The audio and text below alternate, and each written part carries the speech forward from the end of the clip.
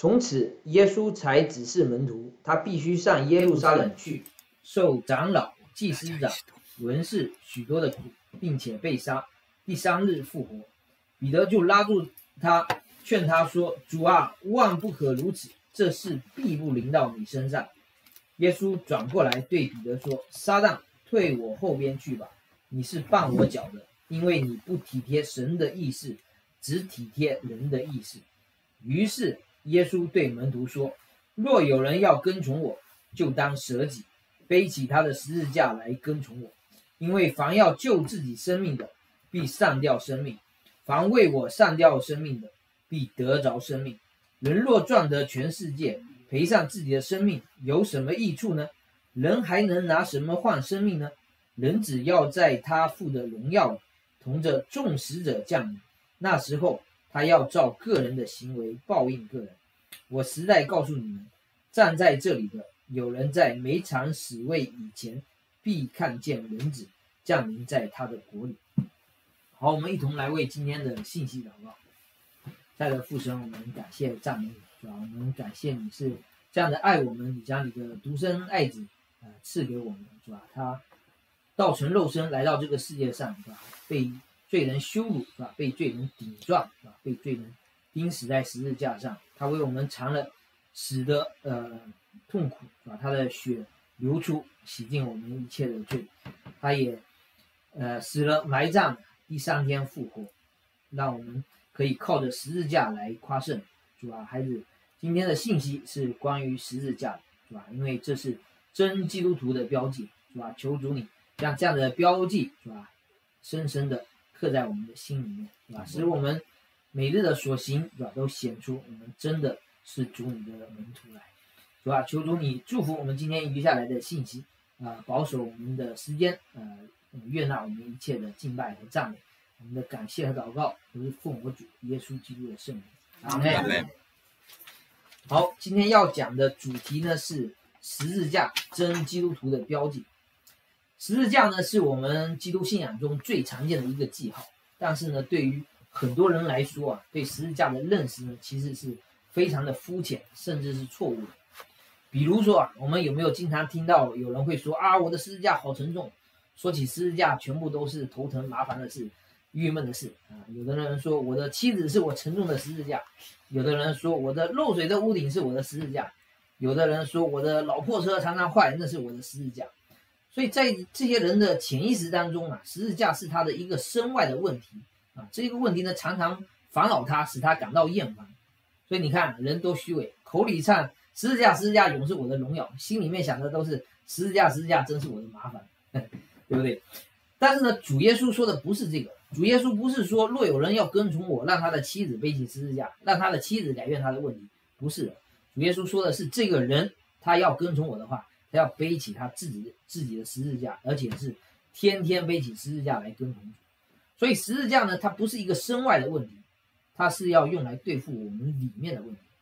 所以关于十字架，我们的观念需要向圣经去归正。圣经中给我们显示出来呢，十字架有非常非常丰富的内涵。十字架呢是真基督徒、真教会和真教师的标记。所以呢，我特别特别的盼望。弟兄姐妹们能够有非常清楚的看见，所以今天这一堂的内容正是我要讲这个十字架载入系列的这个动机所在。一开始是想到这一篇，就后来越想越多，就变成了一个系列。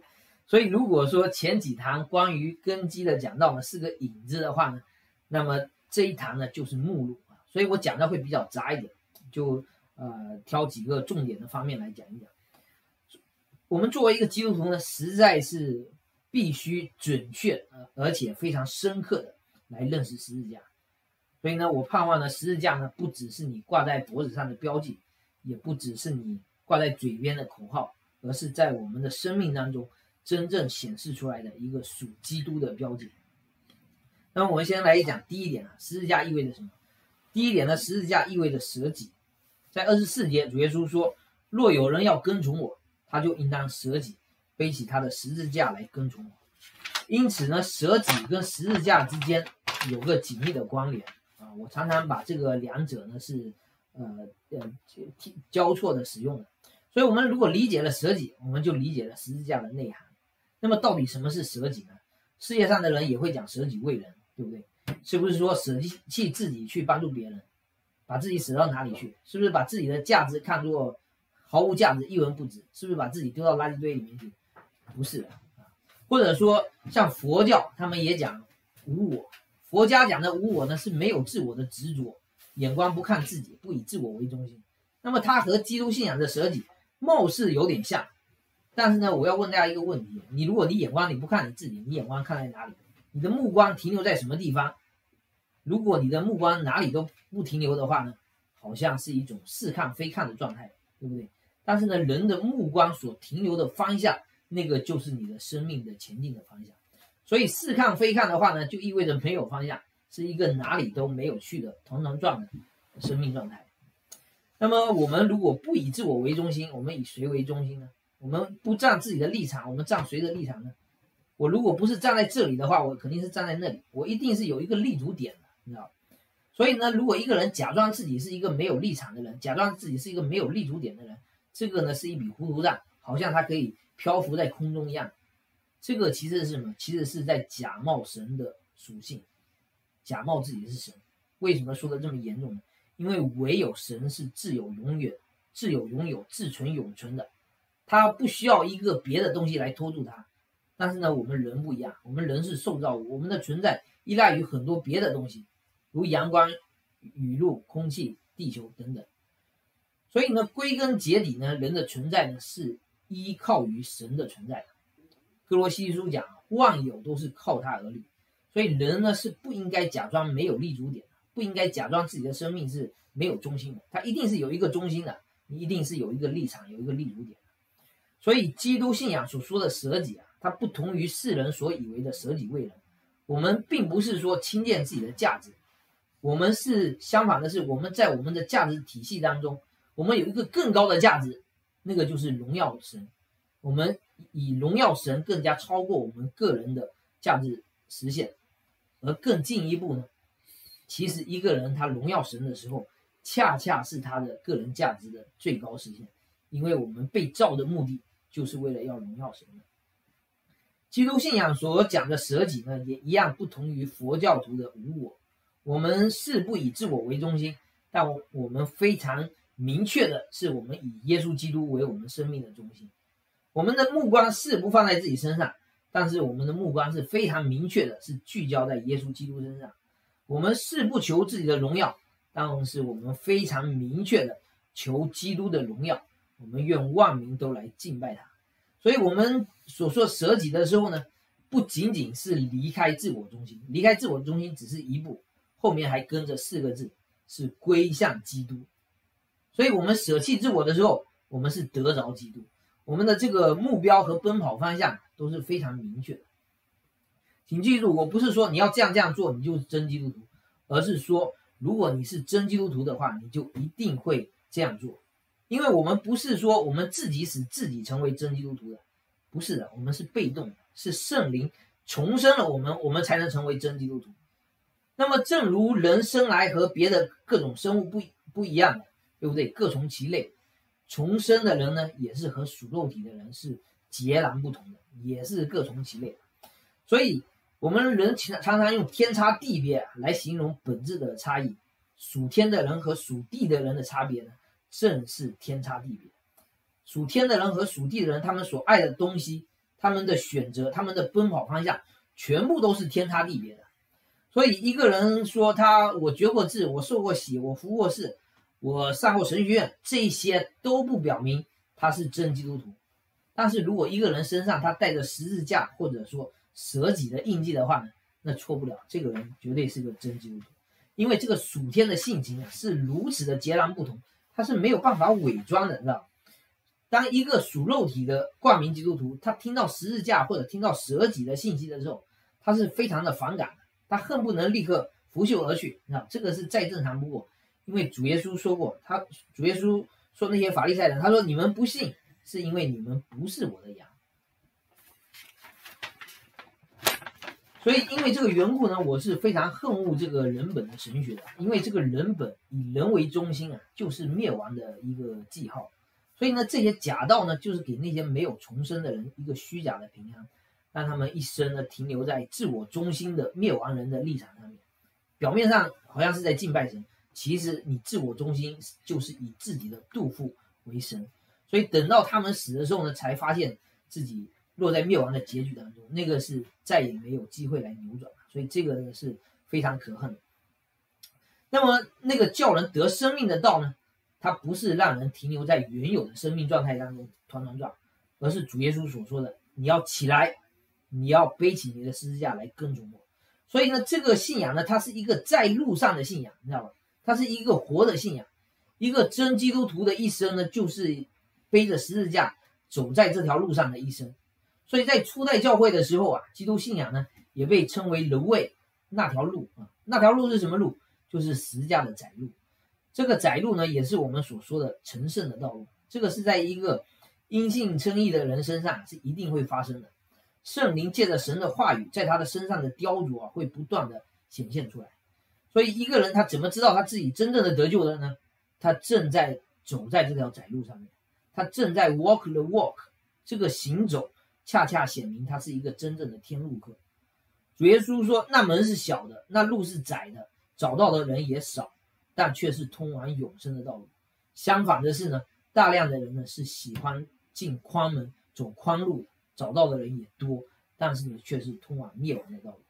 所以这个是第一点，十字架呢意味着舍己。第二点呢，十字架意味着什么呢？十字架意味着死亡。”属肉体的人呢，是天然反感十字架，因为十字架意味着死亡嘛，谁都不喜欢死亡。这对于当时跟在主身边的门徒而言啊，十字架的意思呢是再明显不过了，再明显不过，没有任何的歧义啊。我们今天一个基督徒说，我觉志成为基督徒的时候，他很少会去想，哦，我这个是要走一条走向刑场的道路，去走向死亡。但是呢，对于初代教会的呃。这些使徒他们来说是没有没有歧义的，对他们来说，背起十字架意味着什么？就是走向刑场，再清楚不过了。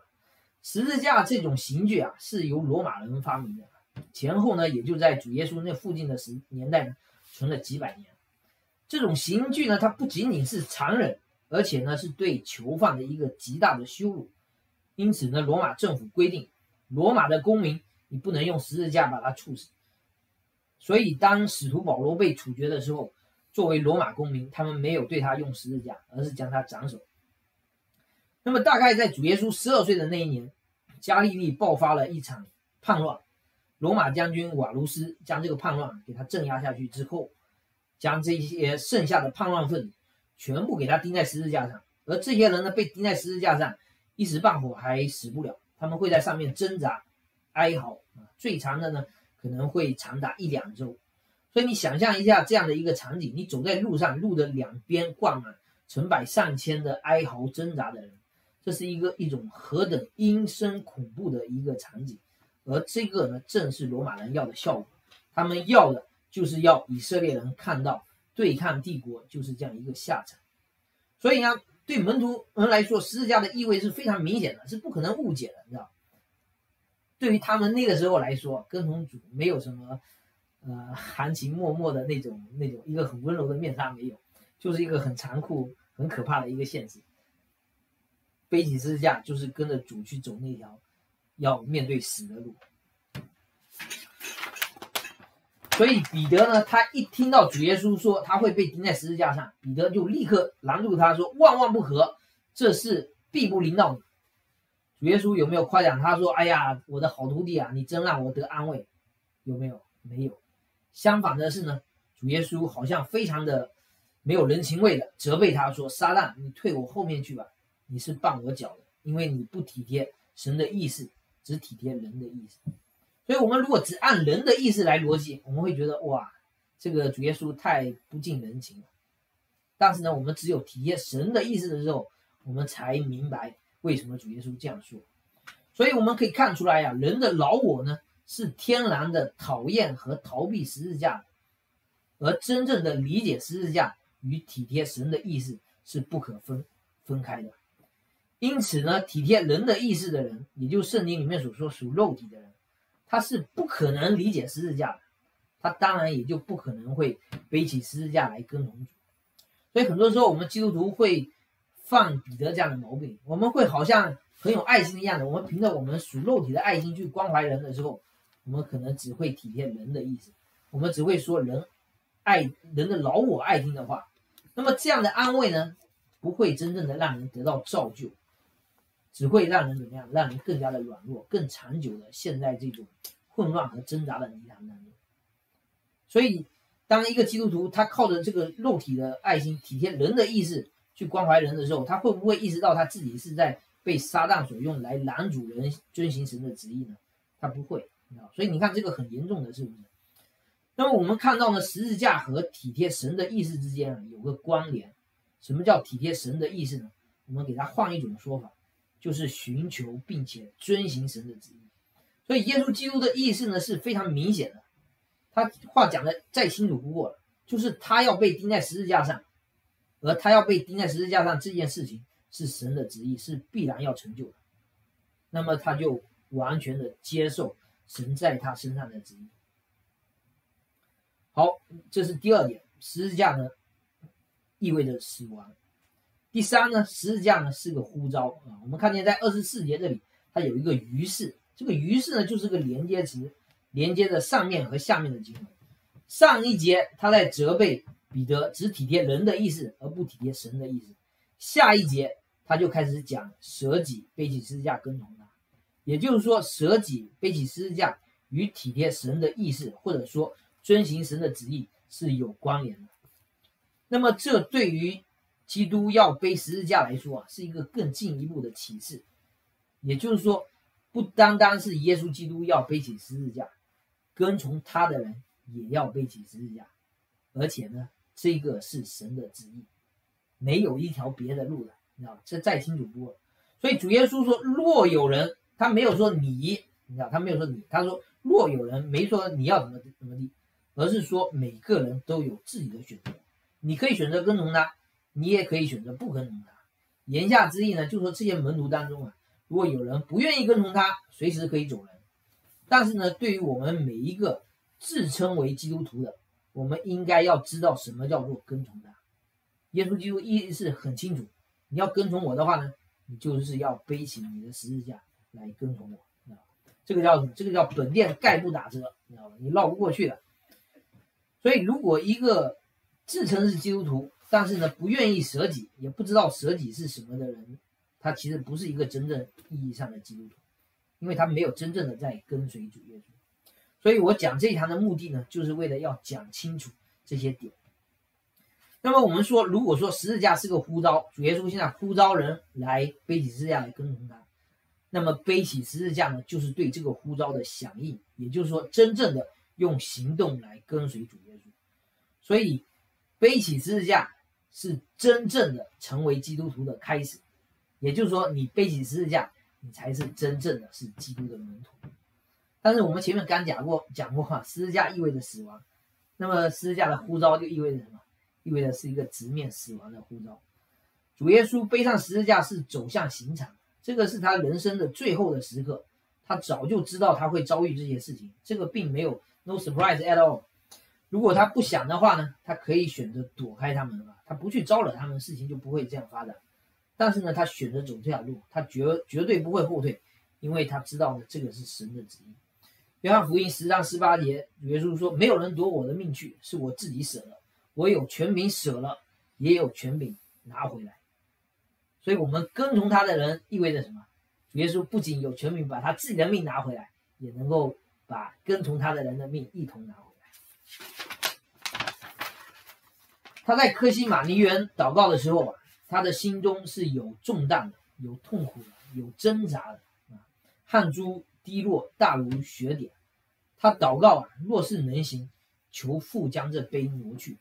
然而不要照我的意思行，只要照你的意思行。他连续三次都是如此祷告。他说：若是这杯不能挪去，定要我喝。愿你的旨意成全。所以，我们也是应当要带有这样的心智。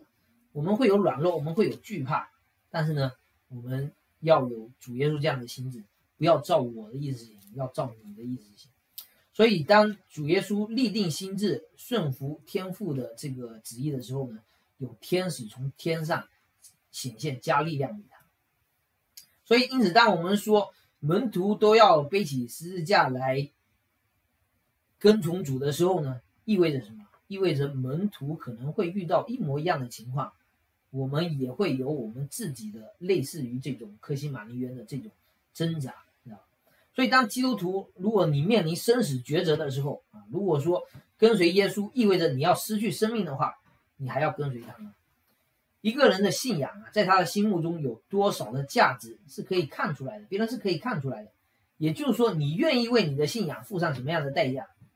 或者换句话说，如果有人来收买你，要开出多少的价码能够让你放弃信耶稣？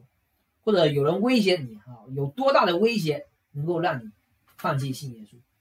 所以背着背起十字架，一个门徒背起十字架意味着什么？意味着我已经准备好面对死亡了。你什么价码你都不能收买我，你什么威胁你都不能胁迫我，使我放弃信耶稣。所以背起十字架意味着什么呢？意味着爱耶稣基督超过一切，包括自己的生命，这个才叫做信耶稣，这才叫做跟随耶稣，做耶稣的门徒。根本不像一些人轻飘飘说的，先来个 basic 的 package 啊，先做基督徒，然后再做门徒，慢慢的升级做高级基督徒，没有这个事的。你要么是基督徒，你是基督徒，你就是跟随他的人；你要么就不是，没有一个什么灰色地带。所以你看见了吗？跟随耶稣基督是一个多么极端的行动，它是一个非常极端的行动。你你发现了没有？所以很多挂名的基督徒是根本不想要这样当基督徒的，他只想要浅浅的相信就行了，干嘛要那么极端？这个呢是自欺欺人，你知道就是挂名的基督徒最终还是会灭亡，所以不如呢早点承认自己不是真信耶稣的，最少呢以后还有悔改的机会。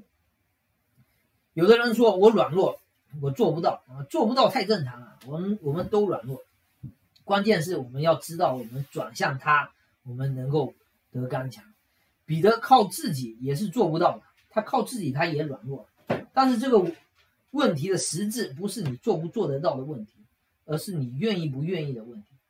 而你愿意不愿意的问题的深层次，是你信不信的问题。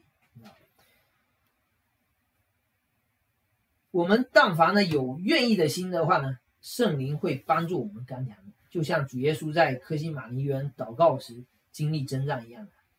他进去的时候呢，他内心是软弱的，是挣扎的，但是他祷告完起来之后，他就是刚强了，他义无反顾的奔向父神给他的命定。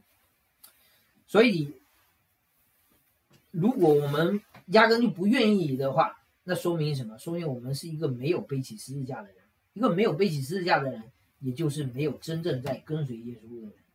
那么也就是说，我们的心中可能还有一些别的事物比耶稣更重要。那么这样的话呢，你就不是一个真正敬拜神的人，那就需要赶紧的悔改，因为在真神敬拜当中，没有任何事物比神是更重要的。所以呢，背起十字架意味着什么？什么呢？意味着这个人啊，他立定心智跟随耶稣了。他的这个动作，背起十字架的这个动作，他在传达一个非常坚定的信息，就是耶稣基督啊，主耶稣啊，无论天涯海角、高山低谷，甚至直跟到十字架上面，我都跟定你。愿你的旨意，在我身上成就。那么，这个才是真正的开始成为基督的门徒。所以，一个立志顺服神的、到死都不改变的人，没有什么东西能够辖制他。但是呢，人若非出于圣灵的感动，没有人能够口称耶稣基督为主；若非出于信心的看见，没有人能够跟随基督；若非出于圣灵的能力，也没有人能够跟随到底。彼得说：“主啊，我就是同你下监，同你受死，也是甘心。”可是主说：“鸡叫两遍以前，你要。”三次不认我，所以彼得果然是三次不认他，而且还是诅咒发誓的说他不认识他。还有另外一位使徒呢，是一位悲观的跟随者，是谁呢？就是多马。在拉萨路死的时候呢，主耶稣跟他的门徒们说：“说我们的朋友拉萨路睡了，我去叫醒他。”门徒们就说：“主啊，他若睡了就必好了。”但是呢，主耶稣这话呢是指着他死说的，但是呢，那些门徒却以为他是说他拉萨路睡了，主耶稣就明明的告诉他们拉萨路死了。主耶稣说我没有在那里就欢喜，是为你们的缘故，好叫你们相信。如今我们可以往他那里去吧。多马就同就对那同做门徒的说，我们也去和他同死吧。当时主耶稣和犹太领袖的矛盾啊，已经是相当的激化了。那个时候呢？去耶路撒冷呢是有真正的生命危险的。多马想惨了惨了，拉萨路死了，主还说要去他那里。那这一下呢，我们真的要去拉萨路那里。但是呢，他的心智上，他还是决定跟着主，所以他说我们也去和他同死吧。多马呢也被称为多疑的多马，他因为信心小，但他爱主的心是真的，他立志跟随主到底。但这种小性的励志跟随呀是非常悲壮，所以多马其实他说那话的时候呢，他有点像荆轲，你知道吗？就是风萧萧兮易水寒，壮士一去兮不复返。但是呢，这个呢还不是真正的舍舍己，出于信心的舍己啊，你不会只看到舍，而不看到得。一个像多马一样的基督徒，没有信心，看不见希望。他凭着他肉体的意志跟随主啊，他是跟不了的，他太苦了，太绝望。果然呢，到了主被抓，门徒们一哄而上，包括多马那边，这个正是主耶稣所说的：你们内心固然愿意，你们的肉体却软弱。所有的门徒那个时候都是软弱的，所以你不要觉得我们软弱有什么奇怪的，使徒们也软弱，我们都是一样的人。所以跟到十字架下面的人当中啊，除了约翰以外呢，全部都是姐妹。但是主复活以后，所有的门徒都刚强壮胆，都传福音，直到地极，直到殉道。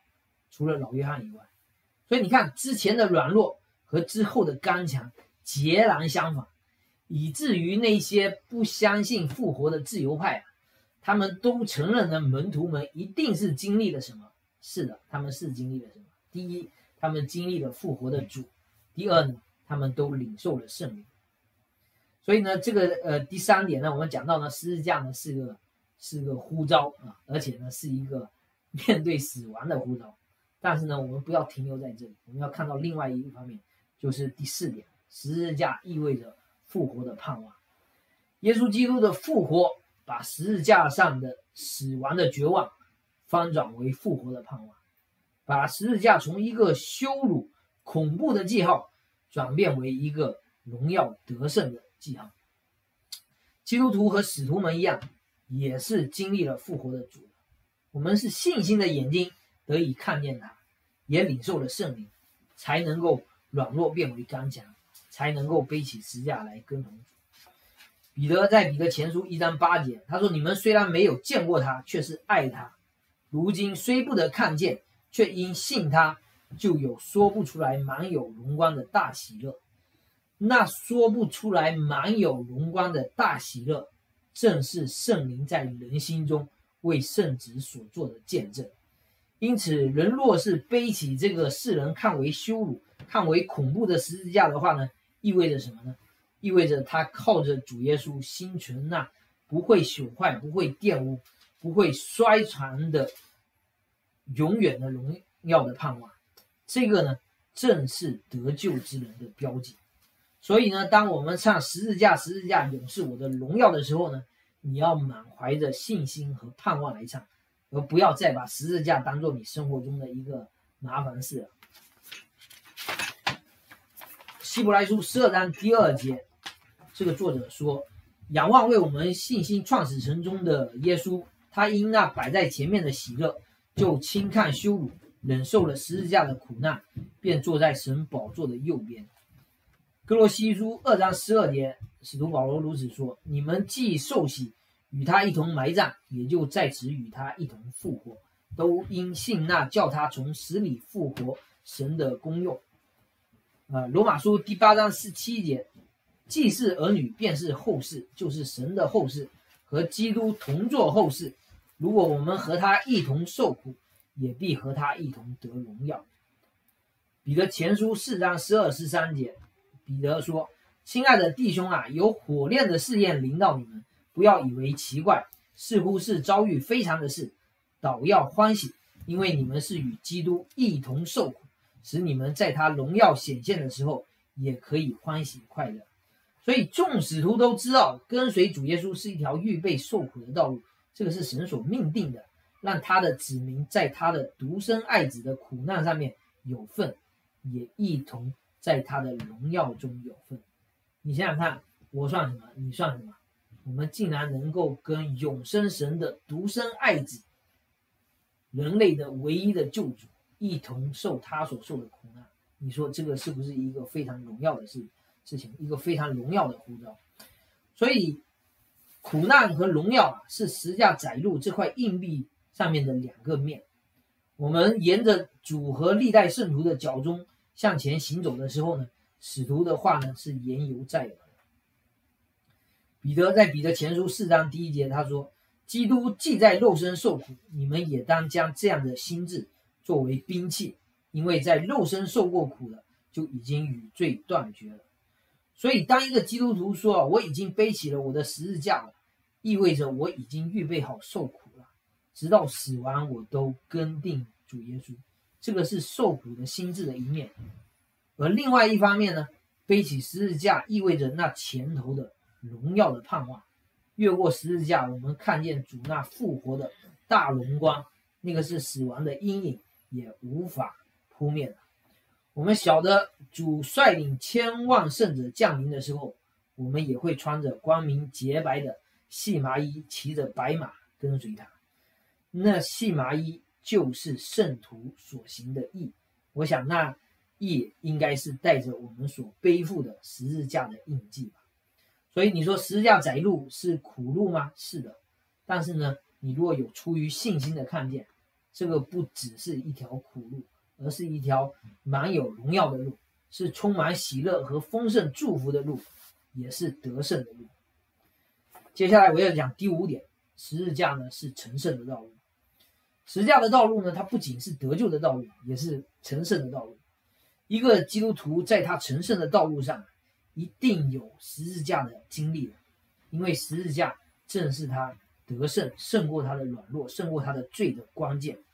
所以下面呢，我想在这个第五大点呢，再分几个小点来分析一下十字架是如何帮助我们得胜。第一个呢，这个是背起十字架，它是一个立志遵行的开始啊。所以背起十字架就是接受十字架的呼召，是立志遵行神的旨意，直到死。那么为何这个呼召很重要呢？因为啊，人活在世上的时候。没有比生命更大的能够失去的东西了。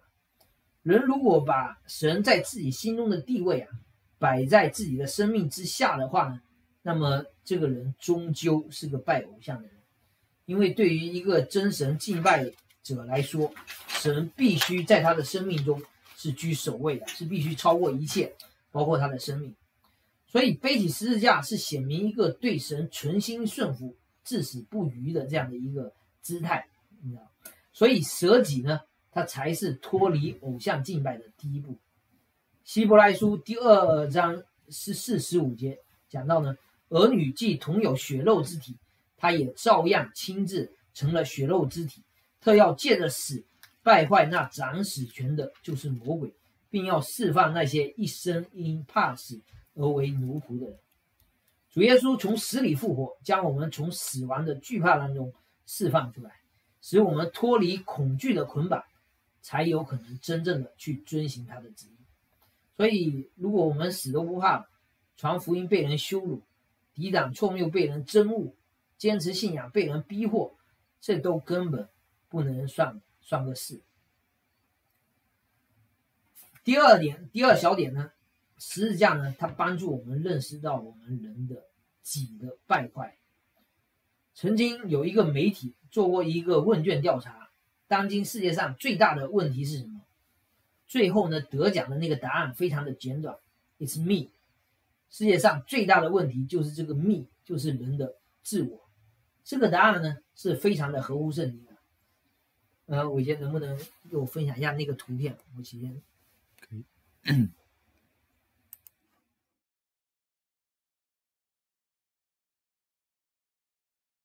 一个信仰的图片，就说基督徒的长进的一生啊，其实是一个不断放大的十字架。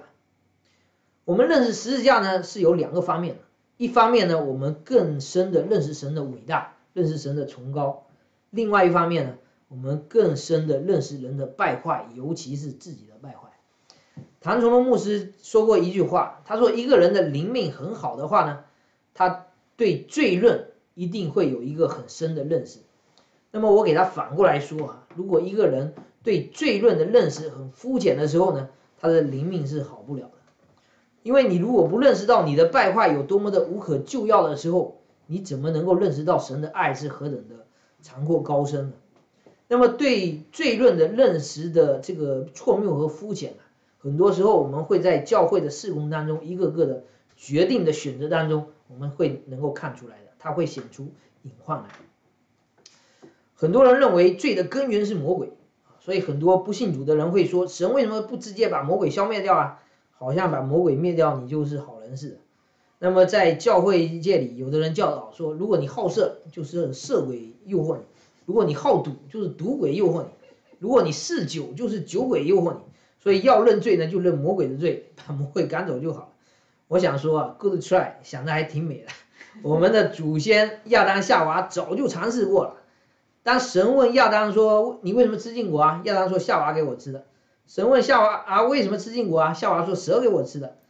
那么请问亚当甩锅给夏娃，夏娃甩锅给魔鬼有没有成功？并没有成功，他们一样受了他们各自当受的刑罚。圣经清楚的让我们看到呢，想要甩锅给别人，甚至是甩给一个很坏很坏的人，像魔鬼这样的都不会成功的。神要我们人明白的功课是什么？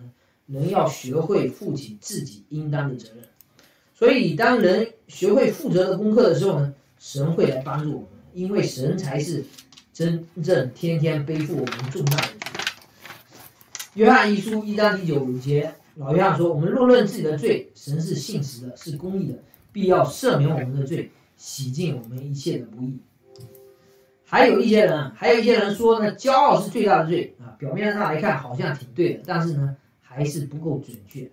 骄傲呢，只是私欲的一种表现形式而已。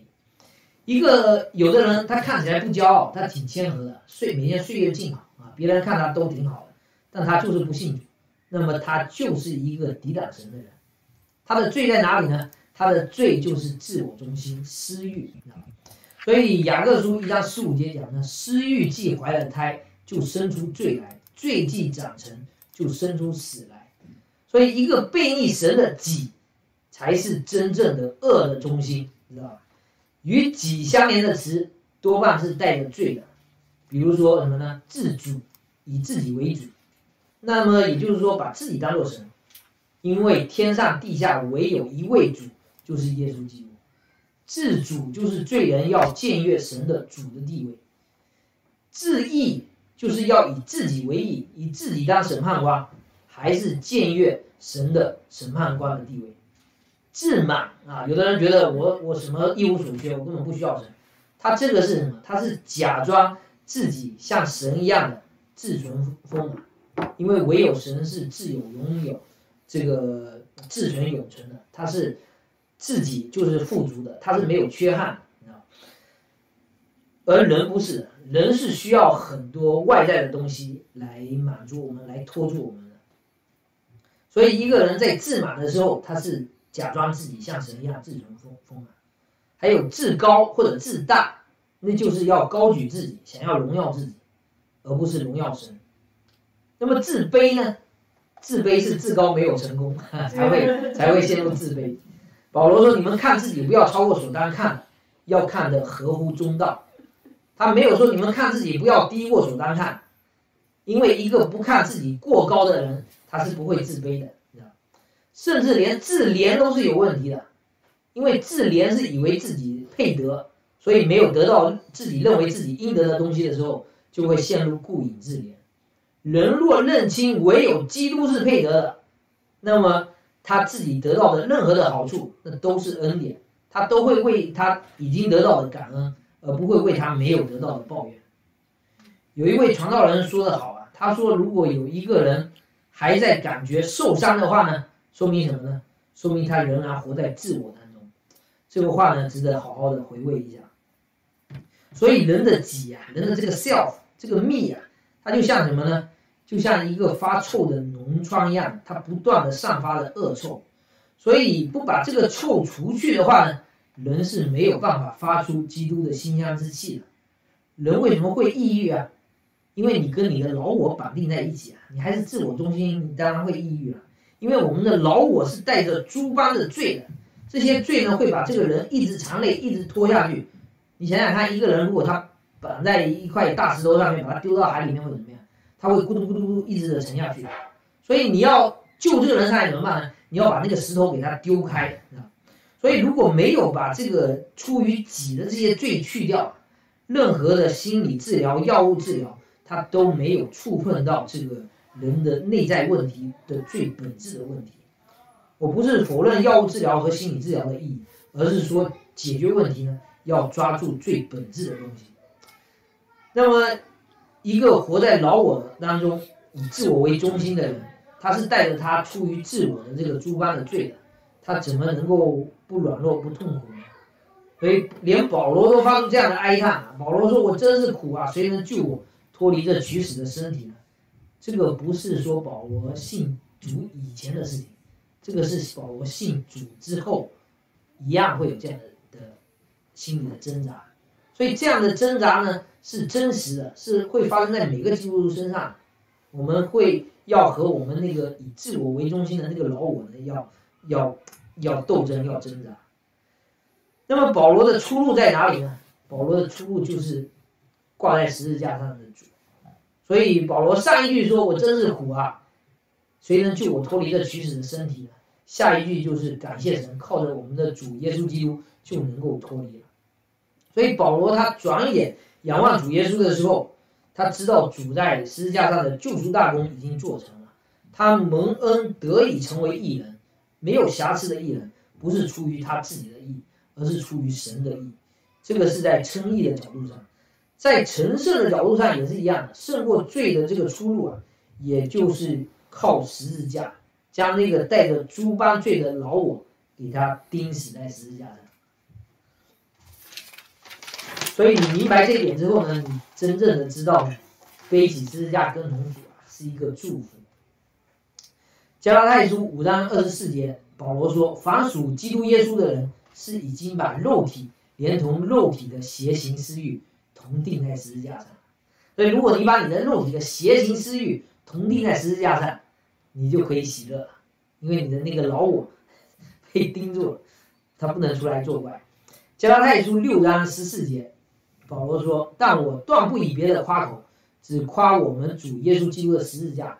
因这十字架，就我而言，世界已经钉在十字架上；就世界而言，我已经钉在十字架上。”罗马书呃六章第十第十一节，保罗说：“他死是向罪死了，只有一次；他活是向神活的。这样，你们向罪也当看自己是死的；向神在基督耶稣里，却当看自己是活的。”一个背着十字架的人，他是一个向世界而死的人。这从世界来的试探，再也不能辖制他；而向世界死的同时，他不是在这个世界上做一个不能动弹的死人，而是他是向神永远的活着。他为了神的旨意而活着。啊，有一些传道人常常会讲到医治释放，我想他们是偏离了真正的重点人的问题呢，不是病。人的问题是罪，所以基督徒，你觉得你软弱吗？你想要得到释放吗？你其实，在耶稣基督里面，你已经是得到释放了。你背起十字架，走上那条荣耀的窄路，在主的大光当中，你的你就得到释放，你的捆绑就得到释放。你的眼目呢，不要总是盯在你自己的软弱身上，你的眼目聚焦在耶稣基督身上，思想他的大能，纪念他在十字架上。成就的奇妙大功，你就得到释放。哪里还需要什么额外的新的招式、新的花花样呢？对不对？保罗说：“我在哪里软弱，我就在哪里刚强，因为神的能力是在人的软弱上面显得完全。”保罗又说：“我的肉体一天天朽坏，但我的内心一天新似一天。”你看见了吗？没有什么能够拦阻这个背着十字架的基督徒在耶稣基督里夸胜。那么那些人干嘛老是讲医治释放呢？这里面的关键在哪里呢？关键他们把那个招人讨厌的十字架给他丢掉。如果罪不是罪的话，只是病的话，这个罪人没有什么需要悔改，他只只需要被医治。你发现了吗？他的问题都不是他的问题，他的问题呢只需要别人来帮他释放，他自己不需要立志去跟随。所以呢，这个呢就给那些厌烦十字架的人开出来一条捷径。但是呢，属灵的道路没有捷径。人的生命当中如果没有十字架，如果这个人不是行在这条十字架窄路上的话，那意味着什么？意味着他仍然是一个自我为中心的人，他仍然没有发生那个从自我中心到以基督为中心的这样的一个转变，仍然没有在他身上发生。那么，不管他外在的金钱有多么的看着多么的呃好看，他都是一个穿着华丽衣服的死人，这个是个祸患。所以我们要知道呢，想要得永生，就得进窄。只能走这十架窄路，没有别的办法。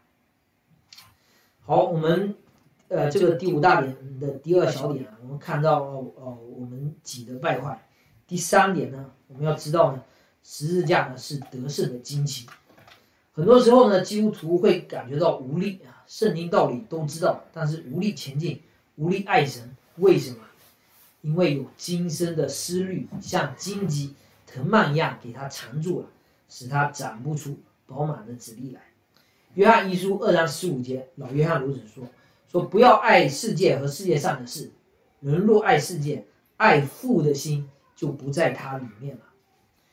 老约翰接着说：因为凡世界上的事，就像肉体的情欲、眼目的情欲，并且今生的骄傲，都不是从父来的，乃是从世界来的。那么就着这一节，我们来对比一下创世纪当中。蛇对女人的欺骗，和马太福音第四章当中，撒旦对主耶稣的试探，他正是用着这个三招：肉体的情情欲、眼目的情欲和今生的骄傲。我们来看创世纪第三章第六节。创世纪第三章第六节，于是女人见那棵树的果子好做食物，也悦人的眼目，乃是可喜爱的，能使人有智慧，就摘下果子来吃了。又又给她丈夫，她丈夫也吃了。夏娃被诱惑的时候，她看这个果子呢，好做食物啊，看起来好吃，这个是肉体的情欲；悦人的眼目，看得很漂亮，可喜爱的，这个是眼目的情欲。吃了能够如神一般，这个呢是今生的骄傲，想要与神同等。那么夏娃就中招了，就跌倒了。那么我们再看主耶稣受到这个一模一样的三招的时候呢，主耶稣是抵挡撒旦，而且胜过了。我们来看啊，主耶稣受到第一个诱惑呢，是他禁食四十天之后，魔鬼诱惑他，你把石头变成面包来吃，这个是什么？这个是肉体的情欲。第一招没有成功之后呢，他第二招，你来敬拜我，我就把你肉眼所看见的这个万国的荣华都赐给你，万国的荣华，这个是眼目的情欲。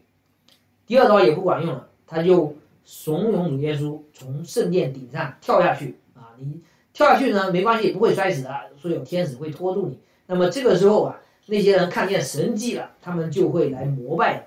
你这个是什么呢？这个是今生的骄傲。所以撒旦呢，还是三板斧，他的三板斧呢，在亚当夏娃那里奏效，在主耶稣这里不奏效。这里的关键点就在于是主耶稣胜过撒旦的秘诀就是舍己。所以圣经记载这些意味着什么呢？它有多多个层面上的意义。第一个呢，亚当夏娃遇到的，主耶稣遇到的，在我们身上也一样会遇到，我们也会在某一些时刻会经历这个撒旦的三板斧的。第二个呢，我们看见有失败的例子，我们看见有得胜的例子，我们很清楚的晓得，当这个三板斧临到的时候。我们要怎么借着这个主耶稣这个得胜的这个榜样去胜过这个试探，而不是像亚当夏娃那样跌倒？所以你看，主耶稣他在人的立场上面胜过撒旦的秘诀呢，就是舍己。他虽然很饿，撒旦骗他去满足他自己的肉身的这个需求，把石头变成面包来吃，但是呢，他不顾念自己的需求，他而是从神的启示来看到人的真正的需求是神的话语。第二个呢，这个撒旦说：“你来敬拜我，我就将万国的荣华都赐给你。”哦，你看地上的万国就要成为你的国，地上的万国成为基督的国，这本来就是耶稣基督来要做的事情啊，对不对？那现在给你有一个快速成功的方法，难道不好吗？但是他有一个条件，需要去敬拜撒旦。所以主耶稣他没有为了自己的便利、自己的好处而去敬拜撒旦，而是单单的。敬拜神。第三个呢，撒旦骗他从这个圣殿顶上跳下去的时候呢，说你跳下去，你试探神，神肯定不会让你摔死的，神肯定会让天使来接住你。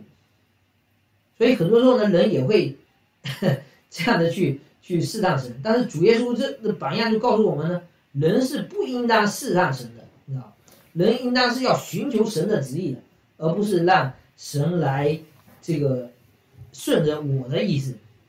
所以，当他这样抵挡撒旦的时候呢，撒旦就离开他逃走了。所以我们反过来看啊，这个教训也很明显。如果说一个人他把自己的需求放在神的旨意前面的时候呢，他是很容易中计的。当他为了他自己的好处，为了所谓的成功的事工，他愿意去妥协真理的时候呢，他是已经中计了。当他不寻求神的旨意，而是让神来顺着他的时候呢？他就会落在撒旦的网络当中。现在呢，我们有这个得胜的秘诀了。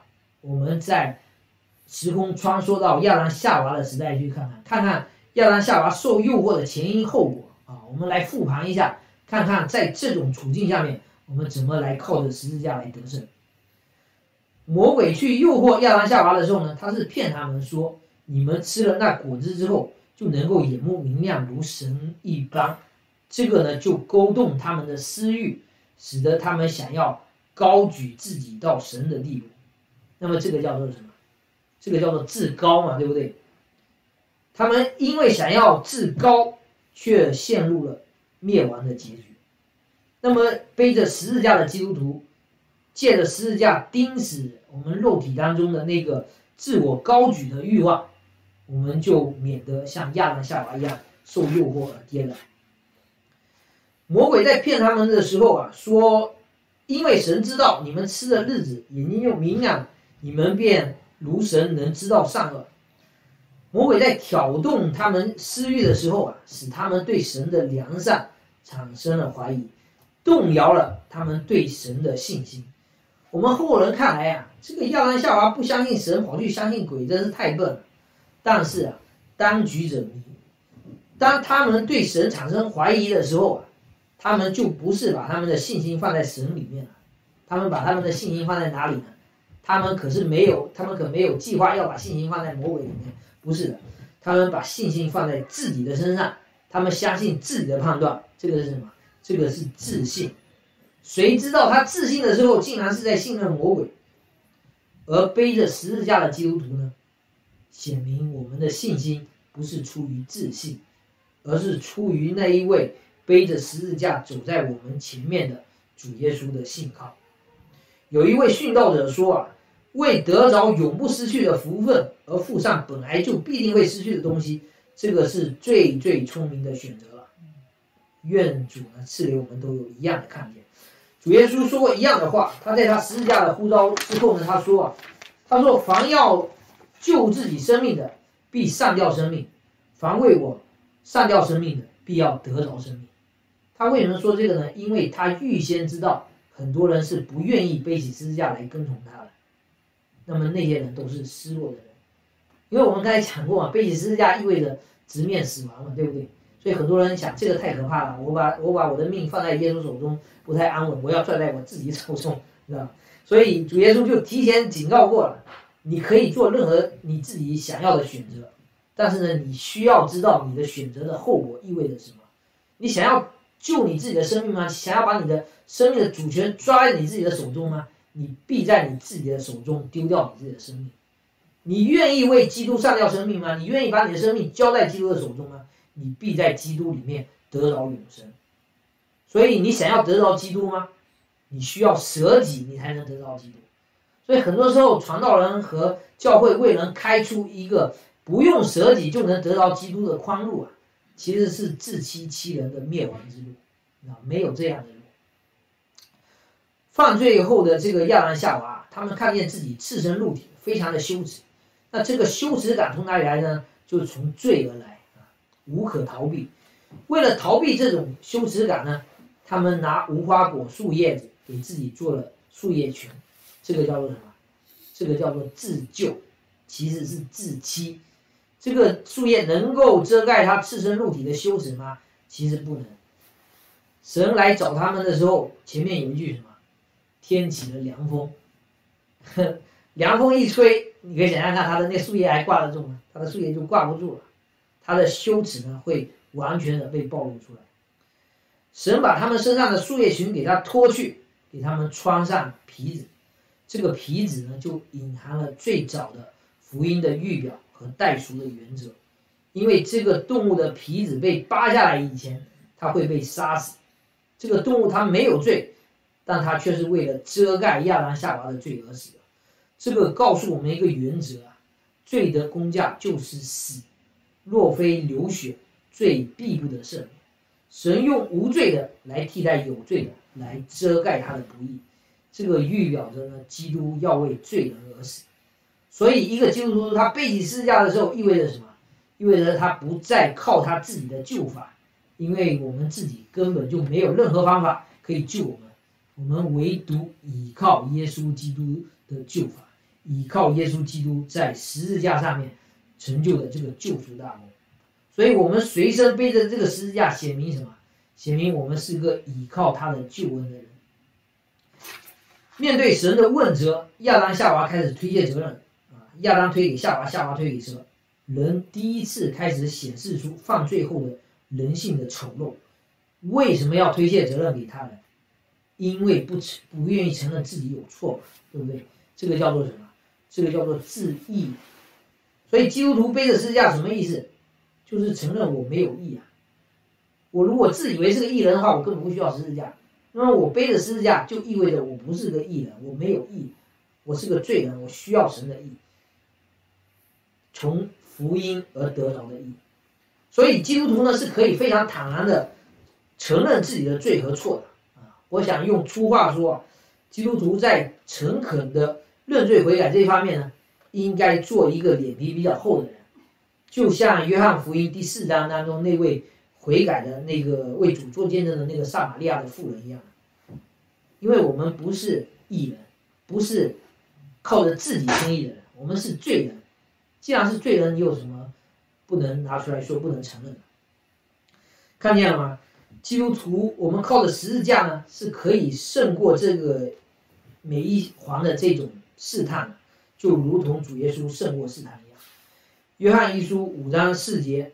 老约翰说：“凡从神生的，就胜过世界；使我们胜了世界的，就是我们的信心。